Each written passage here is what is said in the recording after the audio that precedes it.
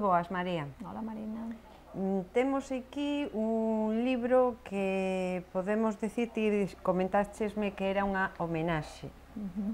Eu digo que é unha reivindicación, porque tamén o pon o título. Okay, Así que contanos de que vai eh, pues, e con que nos quedamos. Este libro, publicado por Embora, titulase Ei de entrar no meu povo, reivindicarmos Carballo Calero. É de varios autores. Realmente o que fai este volumen eh, e recoller unha serie de, de documentos arredor dunhas, dunhas non sei se xornadas ou como chamarlle, unha homenaxe realmente, unha homenaxe que se lle fixo a Carballo Calero en, en Ferrol, que, que é a súa cidade natal, eh, no 2018. Uh -huh. Entón, o de reivindicarmos un pouco porque, a ver, Carballo Calero durante casi casi 70 anos viviu, de feito é unha das cousas que pon a súa filla no propio prólogo, que, que el viviu mm, a súa principal faceta, a pesar de que escribiu e toda a súa principal faceta foi a de investigador alrededor da lingua e a literatura galega. Non?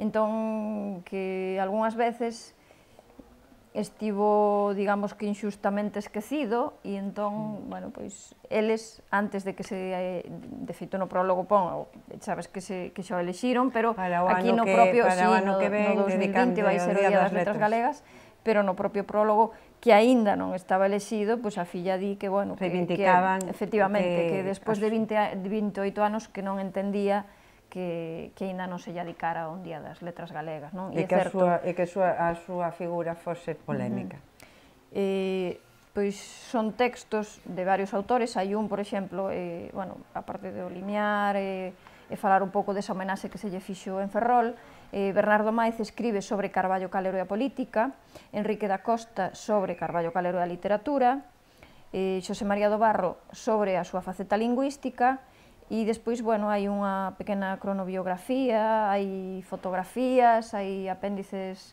bueno, xa ves, unha chea de documentos, uh -huh. incluso alrededor pois, deso, de, de toda a súa vida, que ao fin e ao cabo que foi eso, foi unha vida dedicada, dedicada a investigar a lingua e a literatura galega.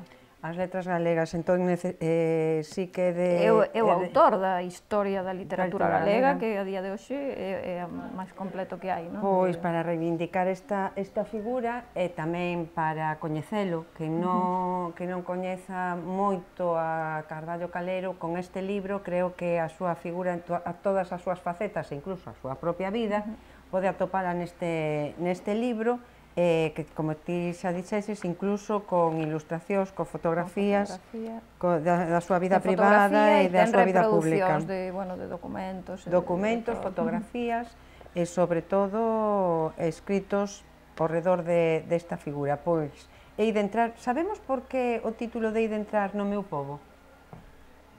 Non sabemos. E entrar no meu povo porque, bueno, eu imagino que é porque se lle fixo a, a homenaxe en Ferrol, que era a súa ah, cidade de nacemento, non? Porque de feito pon aí de entrar no meu povo dous puntos reivindicamos a Carballo Calero, non? O pois que reivindicamos a Carballo Calero e presentámolo para os que non o coñecen e os que xa o coñecen o valoran, creo que tamén estará ben.